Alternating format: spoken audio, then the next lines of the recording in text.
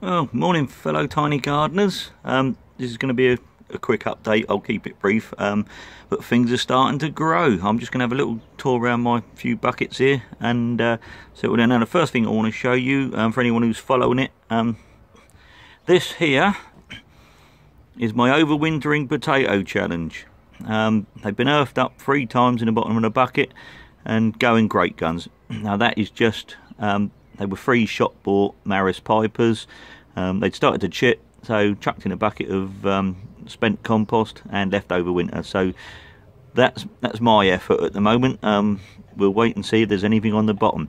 Now, um, garlic, garlic, plenty of garlic there. All everything's grown in containers here, so uh, garlic's all coming on well. These are seedlings I planted out back in end of December, January. I've got collies, cabbage, radish, um, the little ones in the front there these are strawberries starting to come through. Um, there's beetroots there there's onions there.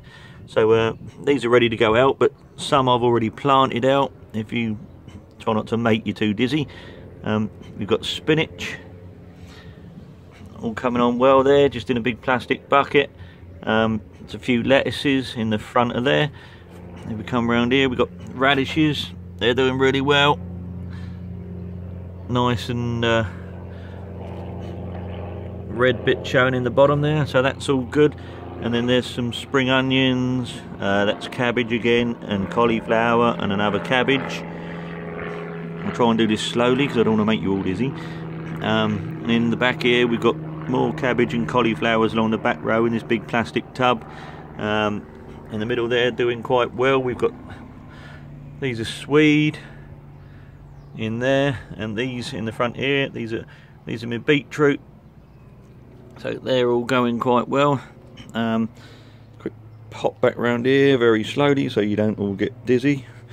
That's a project of mine which is a regrown shop bought celery literally from the old stalk cut it all off um, and regrowing it. So that seems to be doing something. Whether it'll be edible um, remains to be seen if we pop around here, we've got more radishes. Um, they're doing really well.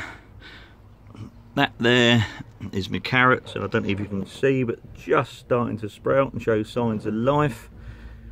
So that's all good.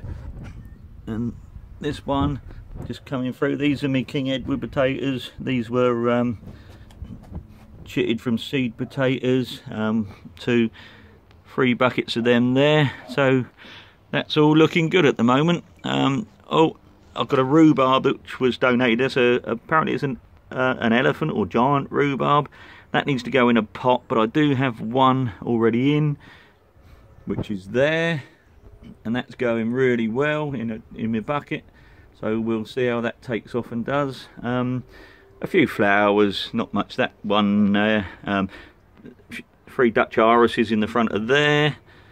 Um, there's Dutch irises there and over around the bottom of here there's a little pot there. Um, that's all Dutch irises all coming up. Um, but I don't do many um, flowers because uh, unfortunately for me doing gardening I suffer from horrendous hay fever. Um, but I do need to have some for pollinators. So I'm trying to put some good pollinators in and I've got uh, like some wild um, mix um, which apparently is good for bees and butterflies etc so that's what we'll be doing a few of them just to um, get the pollinators in. So anyway that was it really. It's all I wanted to show you today. Very quick update. There's a, a bit of an overview of how my 20 by 20 square foot concrete garden works. Everything in containers. Still got that lot to burn and get rid of. I did inherit that which was being thrown away a beautiful great big planter. So uh, I've got to scrounge up some topsoil now because I've run out of soil really. So anyway yeah still got plenty of other jobs to do in the garden. But for now that's just a quick update so you don't think I've disappeared off the face of the earth.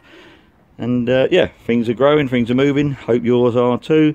And I look forward to seeing all your videos as well. Um, but if you're interested in my little plot um, click the button, subscribe, and um, we'll all catch up soon. And uh, I look forward to seeing your comments. Any comments at all? Uh, thumbs up would be great. And yeah, good luck with your garden. And um, I'll get back to you soon and we'll see what the progress is. Bye bye.